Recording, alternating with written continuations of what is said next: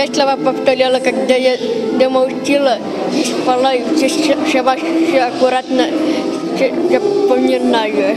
Это самое лучшее, которое в моей жизни вложилось у сердца меня. И я очень благодарен этим детям и воспитателям тем, которые здесь так хорошо подготовили.